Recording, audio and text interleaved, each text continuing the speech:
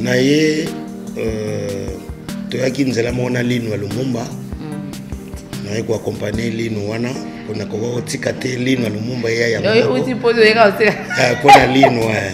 toye na lino ya lumumba epuis nakozonga soki mpona ya na zolo ya lumumba eh, po lino se ye ngambo naza na charge wana tosolaki na roi ya belgique mm. lokola lino eye na kati ya avion mpe bapesaki biso babrosse a dent eh. na badentifrice mpo eza lino eh. fale tomema yango teya nango awa ya lomomba donc voilà egoiste te mpo nabimisi bato ebele ozomona so naye egoiste nanga nabimisa te so bato bayebaki badefe dadi dikambala mm. ligue des champions mpo ngai mpe nabimisaki ye so bayebi bambata siala mpo ngai nabimisaki bango bamira yesa bakoko bilali eh, babelge oyo olobi ya mondele ba mogondo banzalanzala basephora baza ebele oyo lelo bazosala fierte ya théâtre na biso moto kota ngai ba ide oyo ndenge basalaka kwanga asuka nango mabe mpo alingaka ayiba nga tiango na poto bazwaka kwanga batiango na manzanza bato basombaka yango bamama ya selemba oyo basiliki na ye asuka nango mabe ebele soki okenda bakinkole okenda babar na baterrasse eh. bana batie bamakala bazosekisa bato liboso ya bato ce sont des talents oyo ezokufa kaka bongo donc gabi mpe abelaki mais sikoyo nzambe asali akomi na ye malamu tozalaki na ye aza bien nzambe asungi mais ezalaki mpena grave mpo maladi eyaki avandaki mingi na hôpital mais nzambe kaka oyo ya bolingo ya mawa abikisi ye soko azongeli nzoto makasi ata na moko kotyanga te eh. nga soaso na ngai na mindele ezali bizaleli mabe oyo bato bamesani nango soki artiste moko akufi mpo hmm. baluka liwa na ye ebotisa polemique mpo bazwa bemission ya kotia na internet moto soki akufi akufi ata asaki mabe ata asaki malamu me to respecte bamort aza mpe na famille me oyo eloko omona lelo omona internet eyindi mm. akufaki na boye akufaki na boye asalaki boye eh. tomona mpe na bamariage eye lisusu soki moto abali ah, abali mokolo oyo abali wana ndumba donc moto akoki kobala lisusu te atiki mwasi na potoatiki mwasi na poto atiki bana na eh. poto mwasi wana abota abomba mwana akosi mobali ya bato ke abota te tala ndenge asaleli na feti na bango to baliaki pondu so donc makambo fo ezala kaka fo ezala eh. tomona mpe na bamariage eye lisusu soki moto abali a ah, abali mokolo oyo abaliwa na ndumba donc moto akoki kobala susu te atiki mwasi na potoatiki mwasi na poto atiki bana na eh. poto mwasi wana abota abomba mwana akosi mobali ya bato kabota te tala ndenge asaleli na feti na bango to baliaki pondu so donc makambo fo ezala kaka fo eza na bato yango bazotia poison fo baponaka mm. bozokende otila moto poison na lipa ozosambosa poison ti po ezoza biloko moko otila kuna bangombe misuni ezozuwa eh, valermpona hmm. nokufa te so tokende na cimetiere tolamusi bango hmm. okufaki na nini onga batilenga poison na nini oyo nalipa tala degre mama wana abengi mobali na ye na bana abi mobali na ngai ngai yeyo dokter abi nongomela te ifo nakufa mai nangi nayebisa yo likambo moko nabombaka na kati ya foye na biso omoni bana misato toza na bango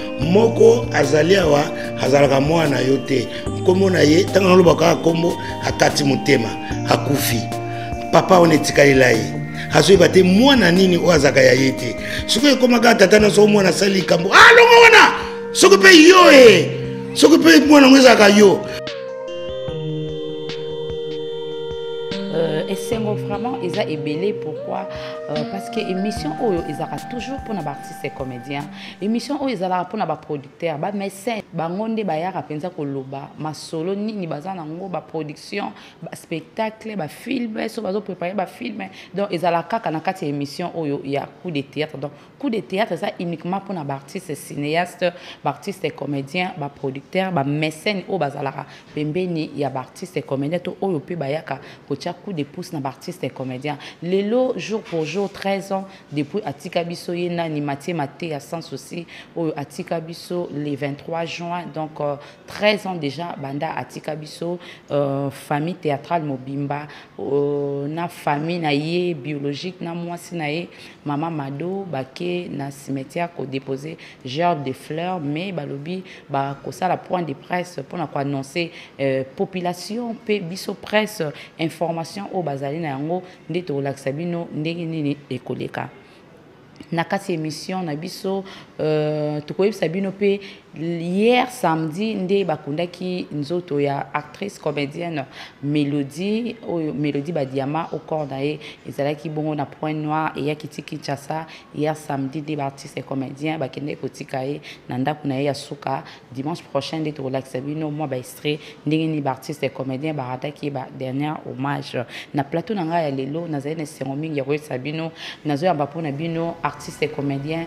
mister siatula siatu siatula donc euh, kala mpenza nayamba ye na kati ya émission ya coup de théâtre esali mpenza nayaki so ba 5 ans so 6 ans lelo vraiment nabi na otiki ebongo te akóma na ye mingi kovanda na poto nabi ava azonga en tout cas fona azwa ye Mister Siatul, Siatula, Siatula Olobe. Nalobaka ne. Bon dimanche. Merci beaucoup Nicolette Lelo. Bon dimanche à toi aussi. Merci, bonne santé. Santé, ça va par la grâce de Dieu.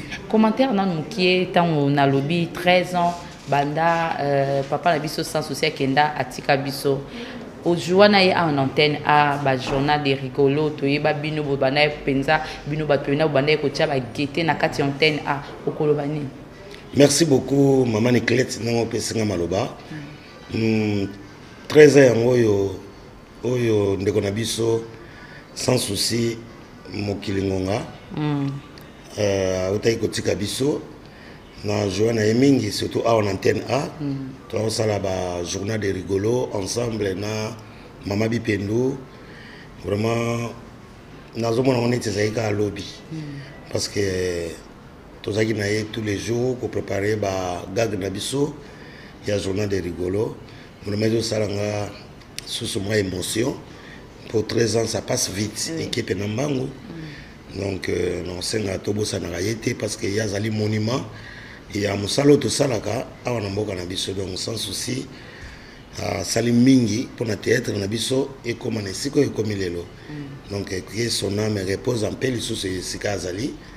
ba souvenir eza ebele ebele ebele oyo topartagea na ye hmm. voilà merci beaucoup mister seattle komona o liso a na kinshasa yo okoma no mingi poto r moko oye mais oyaka mpe rare toyebi te oye vacance oye mpona makambo ya baartiste comédien to oyeka to to ndene groupe na yo mpe na kinshasa oboma na yo mpo nayebi ke nasalaki emission ya suka na yo na siège nomo na bongolo tozala na basefora na artiste no moko ya ndundu mai ti lelo suite ezala so te oyeba ti nazoyeba eh. merci mama niclete na ye euh, toyaki nzela moko na lino ya lumumba mm. naye koakompagne lino wana mpona koka kotika te lino ya lumumba eya yangompona lino eh. ndoye na lino ya lumumba epuis nakozonga su mpo naya na zolo ya lumumba eh, mpo lino se ye ngambo naza na charge wana tosolaki mm. na roi ya belgique mm. lokola lino eye na kati ya avion mpe bapesaki biso babrosse à dent eh. na badentifrice mpo eza lino eh. fale tomema yango toya na yango awa ya lumumba donc voilà et puis naye lisusu mpona baprojet mosusu naza na yango mpona groupe euh, na boma groupe euh, lokola nazalaka susu awa te mm. eza kobimisa badecision trop moto nyonso ngai nalingi nazala mokonzi nalanda satula na nsima namoni bakoswana wana epuis ngai na poto nasala bacours oyo ya one man show mm. kozala humoriste mm.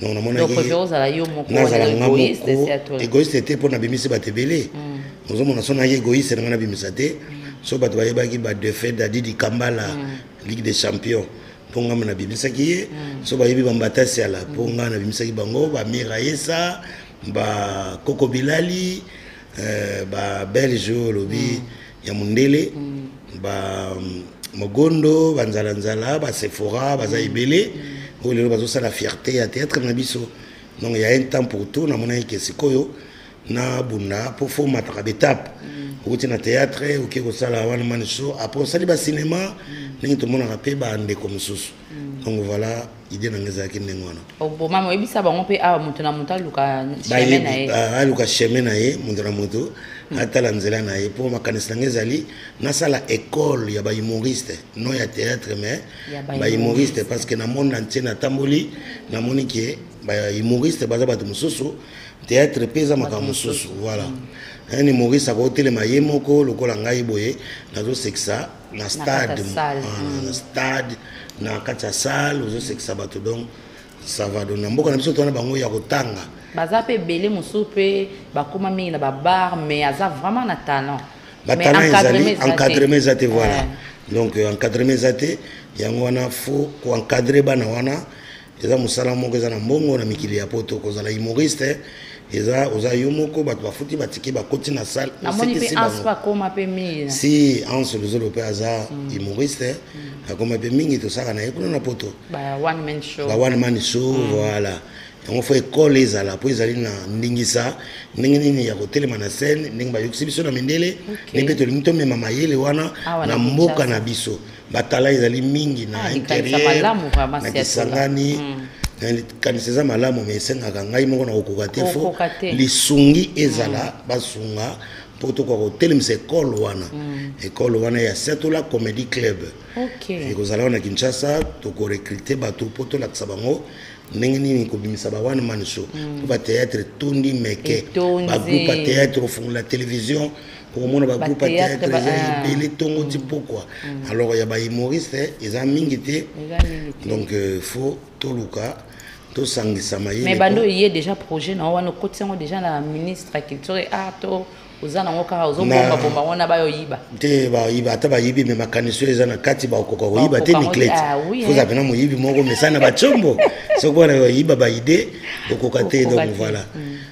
moto kuta ngai ayiba ide oyo ndenge basalaka kwanga hmm. asuka nango mabe mpo alingaka ayiba ngai tiango na poto bazwaka kwanga batiango na manzanza bato basombaka yango bamama ya selemba oyo basilikila ye asuka nango mabe atika nango na makasa eh. donc euh, ba projet ezali semaine prochaine aza na rendez-vous na mama ministre ya culture mpo nanga notikela ye projet toyeba ndenge tokosala mpo to évolue ensemble mm. euh, jeunesse na biso mpe ezwa ndingisa ya kobimisa ba humoriste na mboka na biso mais bande oye ba humoriste mosusu deja ocontacte contacte bango oyo deja ozo étudie nazo étudie mwa ndambo mwa moko moko mm. ebongaka te mpo bato nyonso basekisaka mm. ata na famille mm. omona ozobeta lisolo bato bazoseka donc oza na don wana na kati na yo mm. mais fo siko korepere voilà eza na kati ya makila fo mm. kozwa koencadre yango mm. kotia yango ya nzela nazokutana na mwana moko moko nazosola nazotala mosusu azomimonaka azosekisa bato nzoka eloko te okotia ye boye fwemfwe et surtout neti na baspectacle boye to na bandenge olobi na bastade basale wana ezalaka baseki te bato fo baseka soki baseki te osali eloko te alors avokoma na niveau wana fo biso to meka koyekolisa yo koyeba ndenge tokoki kopusa yo mpo opusana liboso mm. oza coup de pouce tozopesa na jeunesse mm. oyo ya biso mpo ya pas de so métier mosala nyonso na libanda le tobimi mpe tovandaka na mikili ya poto tomoni ke na misala oyo tonegligeaka mpa na biso mm. na libanda eza bamisala mpenza oyo mondele arespectaka oyo mpe baartiste ebele mpe bakouta bake bajoue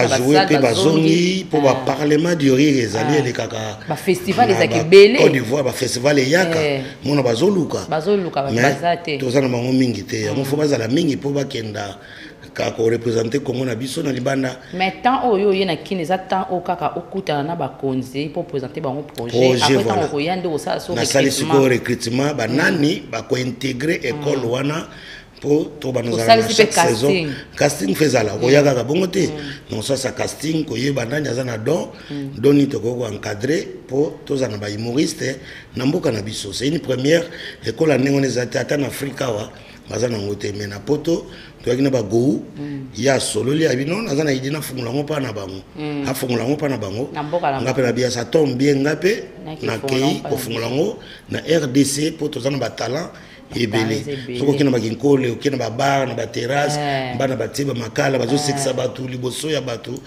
ce sont des talents mm. oyo ezokufa kaka bongo ekosukela kaka na babare te mm. na nzela te fo komema yango mpe na basalmongo moko ok mbongo wana ya bango te mm. bango baza na droit bazwa mbongo na bango mpo bazosala eza mosala na bango mpo eza droit na bango voilà mama niclete donc na poto sikoyo batéâtre ezosala te nde bosangana na badeba président devos ba ans luzolo ba meta pinga nde namona wana biloko bosalaka wana ouais, donc soki okazo ezali tosangani me mingi mingi ngai mm. nasalaka one man show nazalaka ngai moko na basale mais soki film eza babengako quand même président yako joue rôle tobombeli yo ah, soki film ezali na kotala soki naza disponible mpo na poto navandaka esika moko te mm. nazalaka na france me nakendaka nini naza sikoyo na invitation na états-unis mm. epai ya moninga na nga bombo fifi okay. ye avandaka na caroline du nord mm. donc na mois de septembre toza na tourne kuna na états-unis aza biya tuna ko mingi tuna david putembeni te tuna bongo ye mpe asalaka ba one man show si ye mpe asalaka ba one man show mais ye mpenza abunga e eh.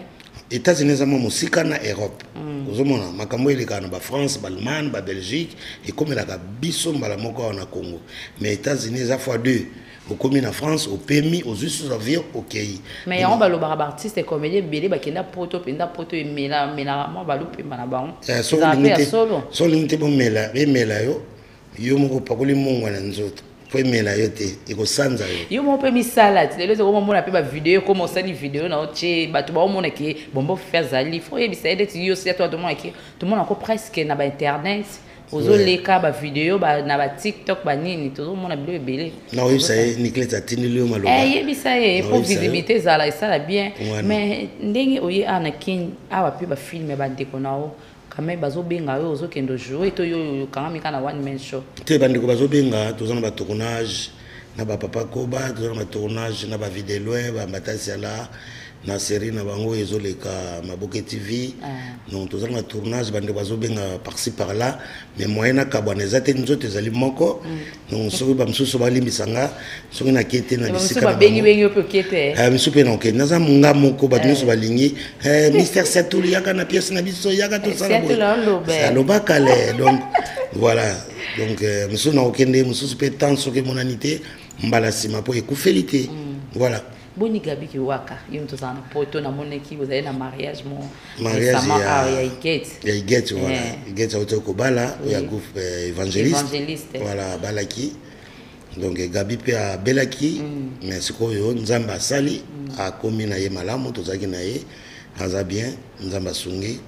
mais ezalaki mpena grave mpo mm. maladi eyaki avandaki mingi na hôpital mm. mais nzambe kaka oyo ya bolingo ya mawa abikisi ye soko azongeli nzoto makasi na poto namona bosala association na bino ya baartiste comédien bino nyonso mm. bosala association soki nayoka emono réellement vivant yango to boza na antpc poto na antpc kin no ngai nakotaka biloko wana te mpo nayebi ndenge esukaka mpo hmm. naza mokolo natalaka deja l'homme prudent voir le mal de loin hmm, namonaka basalaka bango mpe bayebi ke bakoka kobenga nga te mpo na kolinga te moto soki aliaka nayebi tabe te bokopesi na makasi te donc voilà mais eza bien kosangana kosangana eleki kokabwana mm. mais faut kotya serie mpo ewumela mpo mm. tosalisanaka mm. donc basoaso eza mingi na poto oyo bandeko basalasalaasoaso nyonso yo oza ata na moko te ata na moko kotyanga te eh. nga soaso na nga na mindele yo amta mabe eh, yo kongolo kene mindele bo bandeko no tiki bango po bandeko na biso mona lelo boza mais assista bango so promesa si so promesa il faut assister mm. soki idée ezali mm. na porter mais pona za na bino na kati naza te ngai aza lokola molimo nakozala na bino na kati mais soki bobeleli molimo mosanto nde nakiti naye kosunga mais mpo bomona molimo mosanto bozoyemba na ye aleluya nani esi bavanda bamoko na molimo mosanto mm. aza te eh. mais so bobeleli ye akokita akosala Voilà. Na profiter na souhaiter ba joyeux anniversaire na champion Kiwaka. Champion Kiwaka mbotama elamu na yo esika ozali elongi akayibi Kiwaka eza oyo so te eh, champion. Mbotama elamu epai wapi ozali kotala biso. Euh, je profite pour dire euh, euh, bon dimanche na ngai epai ya Bibi Shentsuko, babi Bibi Shentsuko, babi mwana poto ya tongo. Eh, bango mpenza tobanda kotala bango mpenza kala. ye kaka mokuse lokola ngai na tv abima molai mais soki tali boye ana ye mokuse aza na ye mokuse président aa mokuse ana ye mokuse kaka lokola ngai yo moko mindimi na mindimi naza mm. mokuse mm. nalobi eloko moko mbala osomba alobaki alobi lelo nazo comprendre te na monde na biso ya baartiste ya comédien lelo eza na phénomène moko soki moto akufi polémique ye soki moto abali polémique ye eza nini ezali bizaleli mabe oyo bato bamesani na yango soki artiste moko akufi mm. fo baluka liwa na ye ebotisa polémique mm. mpo bazwa bemission ya kotia na internet ozomona mm. ata okufi na normal basala bongo bajournaliste internet obino mo baartiste na biso moko baartiste mm. na mpe bajournaliste oyo internet mm. donc ntango bazoya koluka information bazotuna bato moto soki akufi akufi ata asaki mabe ata asaki malamu mais to respecte bamort mm. aza mpe na famille mais oyo eloko omona lelo omona internet eyindi mm. akufaki na boye akufaki na boye asalaki boye ava kufa asimbaki boye amelaki mai ozomona nani nani nani akufa te asala eloko mm. afokufa afosala eloko moko ozomona ata ya komela mai soki okufaki na poison donc okenda kolia mm. yango okufi mbi okenda komela soki okufi na maladi seke obelaki yango okufi après donc mais oyo ya biso ekomi lokola liwa ekomi lokola liseki place ya matanga bafamille ozokufela eza mpe na mpasi mm. bazobungisa bana na bango mm. mais ntango bapolemike wana ezoya na matanga bajournaliste bazwa na micro oyo eh. alobi boye oyo azongisi boye bafamille mpe bakovanda te bango mpe balobi mm. ale kuna mpe bazongisi omona famille eboyi bato bayakona matanga na bango eh. matanga na bango tokanisa kaka na ebembe eh. tomona mpe na bamariage eye lisusu soki moto abali a ah, abali mokolo oyo abali wana ndumba donc moto akoki kobala lisusu te atiki mwasi na poto atiki bana na eh. poto mwasi wana abota abomba mwana akosi mobali ya bato kabota te tala ndenge asaleli na feti na bango to baliaki pondu so donc makambo fo ezala kaka eza soki anniversaire mm. fo susu polemike ekota bakado bapesaki eza bakado ya ntina te anniversaire na bango tani bakataki gato gato na place ya sukali batia mungwa tala babougi na yango eza babougi moko ya kopelisa na limete te fo bapelisi nango na makala mpe baartiste fo otelema mpe eloko wana mpo esala mpe ezosala bien te parce que ezokabola meme na baartiste baartiste ebele so tomoni bakabwani ezaka bapolemike oyo oyo alobaki bo oyo azongisaki bo oyo asalaki bo ekomi ya kofingana oyo olandaki émission to afingi bo oyo aye lobi afingi yango mpe ekotisa poison na monde na bino président poison ekoti poison kaka te na bambasu eh. poison te jalousie na bambasu motema mabe na bakisi ok biso ntango tobandaki kosala théâtre okala mm. makambo ezalaki te mm. ozomona donc nazomona neti android moto eye na makambo na yango soki android ezala na yango te bana bato bango azala bien donc sikoyo moto mpe na bato yango bazotia poison fo baponaka mm. bozokende otila moto poison na lipa ozosambosa poison ti poizo eza biloko moko otila yango na bangombe misuni ezozwa valeur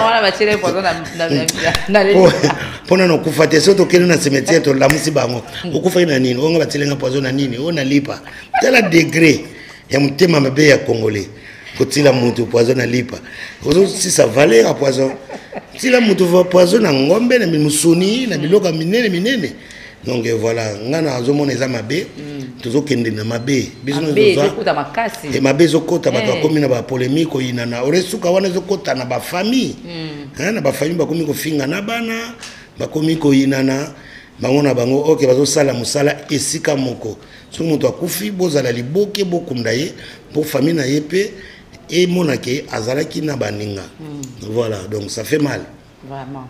Si à tout la, euh, Dieu merci tantôt, tu peux se bambote, nana kalambay, bardo lelo, baota la biso, bisika bazali, balobi osuka wapi, na enregistrement na oya masolo. Hmm.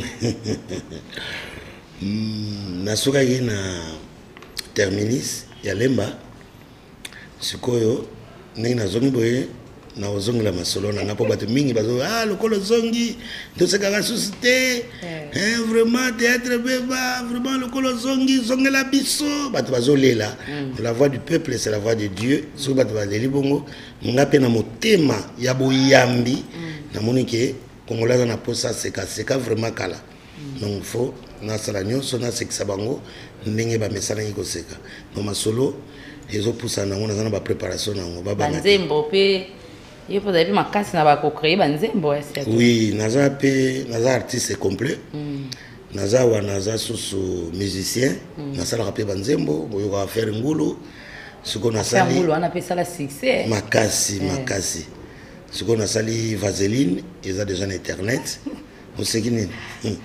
okoki kozwa kaka liso ya vaseline vaseline bapakola yango na mbebo so mbebo ekauki bien na maboko bapoto bolela yango sikoyo mpo na eh, bapakola na mbebo sikoyo bino bozwi makanisi bokende yango na mosika donc ebimi deja soki bato bakoti na youtube mm. na ngai mister siatula officiel tv mm. nde bakoyoka nzembo wana nazoprepare nasala clip nango awa na kinshasa bakomona yango mikolo ezali koya nakotikala kosalana bantuka na bakoba bakozanga te bakozanga te bantuka na bakoba bato bazanga te papa koba napesa yo mbote na ntuka mbata siala oyebike bato bakanisa boza bandeko na mbata siala ah. eh, babi elobe na bino elobe na bango ezala lokola baa bandeko mpo ntango nazwaka bato lokola soki toza baformateur mm. naza formateur soki moto aye kokɔta na groupe na nga mm. nakolakisa ye ndenge ya kolobela mm. neti niclete oye nakoyebisa yo niclete nalingi olobela ngai kiyombe na tonalité oyo niclete lelo nazoloba boyeko mpo bajournaliste bele soko tye bango wana azoluka polemiki mpo aloba likambo oyo ezosala neti ya basi ozo comprendre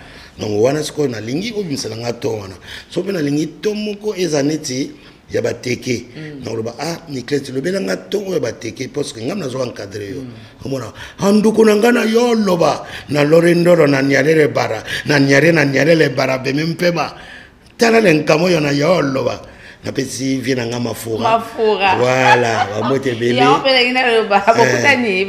bana na ye na tokutani te ah, mm. vraiment mm. vie na biso mafura eh, bongo sikoyo langi mosusu olobi te balangi eza ebele kongo toza na 400 dialecte mm. mosusu okomona nzokambo oyo ya tingane mwana ona aza koloba likambo oyo asala yango aza kolinga kosala nanoa makambo ya cibelebele esike opesaki bango baji popele bazala ozomona wana chiluba na ndenge mosusu minoko ezali ebele telema ebele okomona mesi atula ndenge oza wana lelo soki ovandi est ce que omimonaka mpena motu moko oremplace oyo keloko asi atoli mpena ah, oyo mpena nga oyo bazali bazali soki ovandi otali par exemple lokola ladi esobe mm. soki azosala nazomitala mm. nazomimona na kati wana oyo mpena setula na ngai eza na kati wana mm. ladi esobe napesi ye bambote mm. donc euh, voilà barelève ezali soki bafistosaisai oye asekisa yanga makasi soki azosala ozomonake mwa biloko moke moke oui bango aza ladi esobe aza humoriste mm. fisosaisai aza humoriste Vue de loin aza humoriste donc euh, Ba ba humoriste Hansi bazali- Luzolo, donc bango ba baza Hansi na angle Luzolo, wana. baza na angle wana Eh. mpenza soki équipe nationale toki nosekisa donc wana bazali baoyo ya ngai na komema na équipe nationale tokende kobunda na maroc tobunda na côte d'ivoire mais tobunda na baoyo Gabon. mpenza ezalaka otie kaka joue action ale abandi kojoue asalasala esisi mais soki oye na ye na spectacle boakoka te Eh, misu bazali babenga bango ba acteur acteur comédien donc ye ava bomona ye il faut bozala ebele bosangana eh. bokoti na kati ya théâtre eh. bopesi ye role ah, wana baacteur mm. basalaka neti euh, président elombe mm. ye aza acteur mm. makambo ya kosekisa eza makambo na ye te ye fo théâtre botie ye na kati ya théâtre bomoni puissance na ye ozomona mais bato lokola baladi esobe masasi oui masasi mpe aza na badon wana eh. ya kosala humour ah. ah, mpo aza na masolo ya kosekisa mm. voilà eza na kati en tout cas orapele baza mwa ebele eh. hmm. bamasasi bongo mbalio mbalio susu bon comédien ye mpe eh. aza humoriste aza humoriste parce que bango soki oye korecrute soki otya bango lokola bamembre ya jury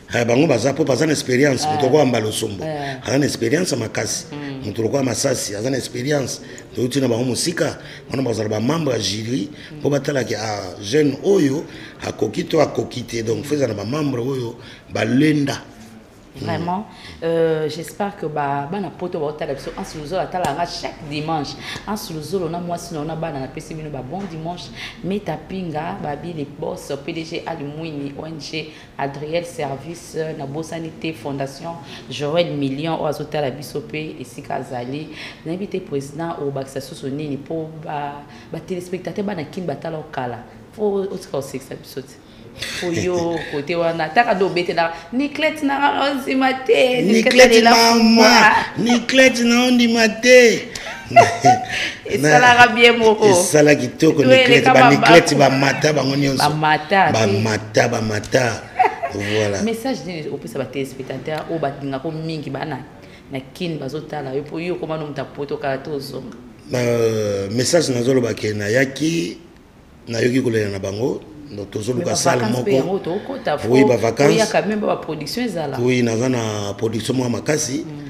ekozala epa emamila na 24 novembre mm. na salle wana emamila donc euh, wana tozoluka date na ye moko pdg okay. mamila napesi bango te mm. tokozala wana mpona kosekisa bato vraiment oyo baza na besoin ya koseka mm. parce que koseka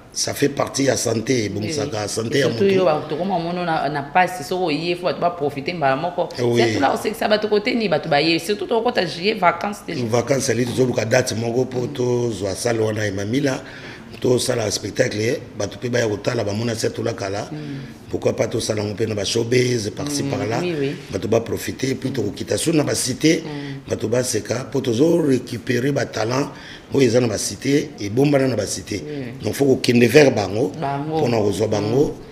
ezala sususponsor azali esa bienbelela ata na camera euh, sponsor aire yango oyo bazomona déjà bayebi ke towana besoin basponsor mpo baakompagne biso na projet oyo toza nango bato baseka baseka kala donc euh, baza na besoin baseka ndenge tozalaka koseka parce que Euh, moto aza kaka na posa ya koseka vraiment message euh, na mwa bambote tokabwana apesi ministre na biso ya numérique mm. son excellence euh, oyebi koma na ye mm. eberon eberond mm. napesi bambote to parce que aza professeur ya droit muna na poto donc pese bambote nabosani mpe te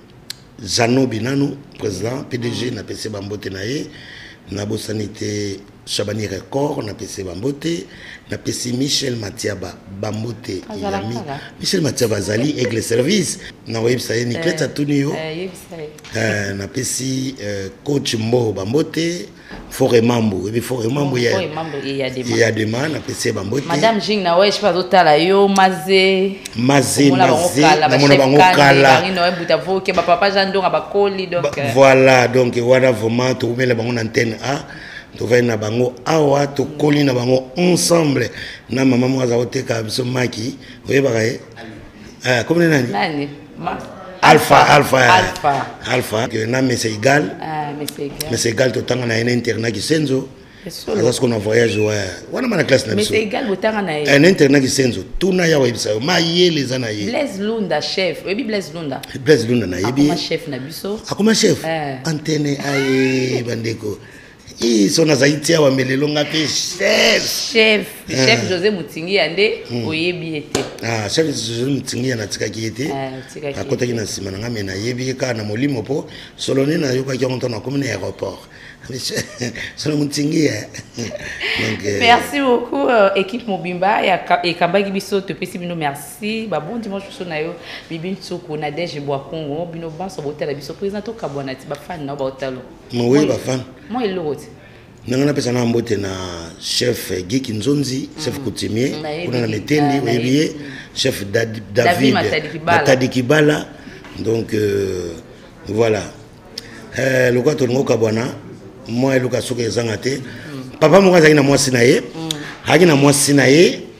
na bana misato sikoyo mwasi azalaki na cancer azalaki kobela mingi na hôpital balobi ke akowumela te akokufa ale mama wana abengi mobali na ye na bana abi mobali na ngai ngai yeyo docteur na bino awumela te ifo nakufa me nangi nayebisa yo likambo moko nabombaka na kati ya foye na biso omoni bana misato toza na bango moko azali awa azalaka mwana yo te nkombo na ye ntango nalobaka kaka nkombo akati motema akufi papa wana etikalela ye azoyeba te mwana nini oyo azalaka ya ye te soki ekomaka tata na soko mwana asali likambo alongo ah, wana soki mpe yo e soki mpe mwana yango ezalaka yo oyo soki asali likambo zakopo wana soki mpe yo e soki mpe mwana yango ezalaka yo do tata azoyeba te akoma kotatone esiatila eh, alobe na ye euh, toyaki nzela moko na linu ya lumumba mm.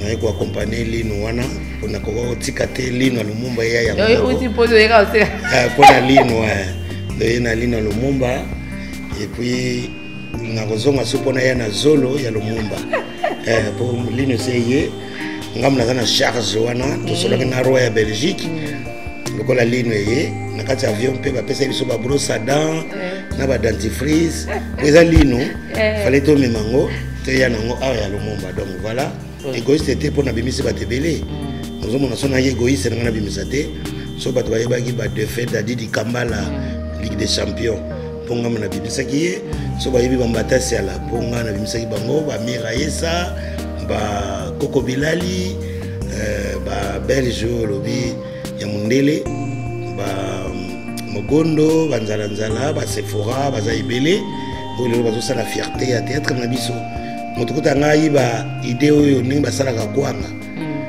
asuka hmm. nango mabe mpo alinga ayiba nga tiango na poto bazwaka kwanga batiango na manzanza bato basombaka yango bamama ya selema oyo basilikila ye asuka nango mabe ebele soki okenda bakinkole okenda babar na baterrasse eh. bana batie bamakala bazosekisa eh. bato liboso ya bato ce sont des talents hmm. oyo ezokufa kaka bongo donc gabi mpe abelaki hmm. mais sikoyo nzambe asali akomi na ye malamu tozalaki na ye aza bien nzambe asungi mais ezalaki mpena grave mpo maladi eyaki avandaki mingi na hôpital mais nzambe kaka oyo ya bolingo ya mawa abikisi ye soko azongeli nzoto makasi ata na moko kotyanga te eh. ngaso aso na ngai na mindele ezali bizaleli mabe oyo bato bamesani nango soki artiste moko akufi mm. fo baluka liwa na ye ebotisa polémique mpo mm. bazwa bemission ya kotia na internet moto soki akufi akufi ata asaki mabe ata asaki malamu mais to respecte bamort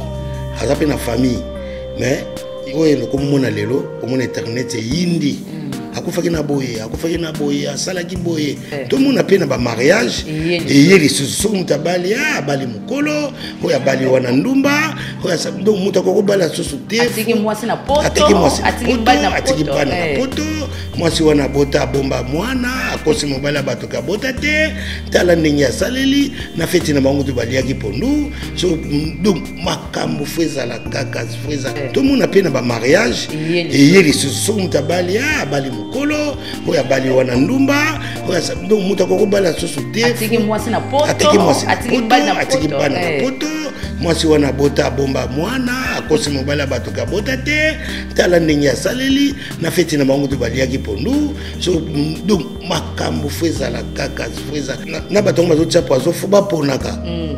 bozo kendo tila moto poison na lipa ozosambosa poison nti poison eza biloko moko otila kuna bangombe misuni eh, ezozwa valeur mpona na okufa te soki tokende na cimetiere tolamusi bango okufaki na nini onga batilenga poison na nini oyo na lipa tala degre mama wana abengi mobali na ye na bana abi mobali na ngai ngai eyo doktere abino akomela te ifo nakufa mais nangi nayebisa yo likambo moko nabombaka na kati ya foye na biso omoni bano misato toza na bango moko azali awa azalaka mwana na yo te nkombo na ye ntango nalobaka kaka nkombo akati motema akufi papa wana etikalela ye azoyeba te mwana nini oyo azalaka ya ye te sikoyo ekomaka tata na soko mwana asali likambo alongo ah, wana soki mpe yo e soki mpe mwana yango ezalaka yo